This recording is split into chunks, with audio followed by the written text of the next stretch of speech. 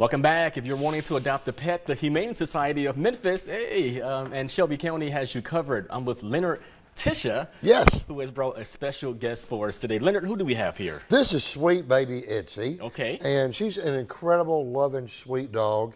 She's been with us almost three years. Okay. And so we re- she's been looking for a home for almost three years. We really need to find her a home. Yeah. And she come to us. We think she was hit by a car, oh. so she had damage to her eye. So she only has one eye, and but she also took some neurological damage. So it doesn't affect her ability to run and play and all that. Gotcha. But she's incognate because of it. So she needs that special home that doesn't matter because she does not know that she's urinating or defecating. It just happens without her knowledge. Yeah. But she has been in a foster home for the past five months, and she has learned to wear a, a diaper. And she's really good with her diaper, and just changed out every couple of times a day.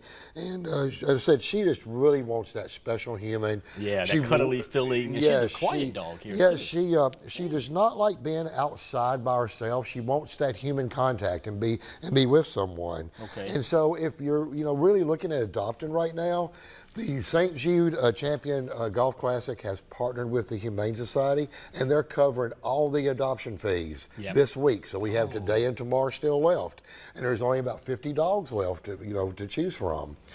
And so, And she's wearing her, I see she's yes, she's wearing her St. St. Jude, FedEx, yeah. bandana. Yes. So talk more about that and, you know, And so it's you, you, we still have to follow the process of uh, the adoption process.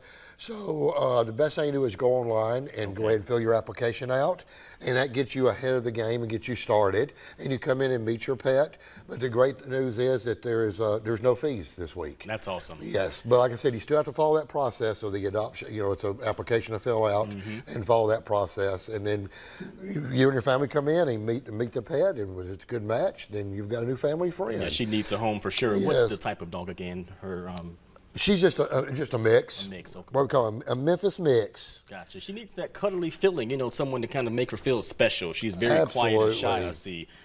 Um, what do you think that folks should know about her and her personality? You kind of mentioned, you know, Yeah, she would be great uh, with just about any personality, and of course with smaller children, with being only one eye, that could be a little scary. Mm-hmm. Especially, you know, she you know she has no peripheral vision on that side, and uh, just someone that's really just going to give her the love that she is craving, and be understanding that when uh, that she can't help that she you know urinates or, or defecates uh, or- or- on her own. And like I said, though, she is really really good at wearing those diapers. Though. gotcha. And she's not going to cause any problems. Well, No. thank you so much, always, Leonard, for coming in. And hey, it was so good to meet Isha.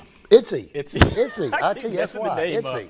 Oh, okay, well, to find out more about how to adopt a pet, visit memphishumane.org and click on the Adopt a Pet tab. Yay! You did so good, girl. She did.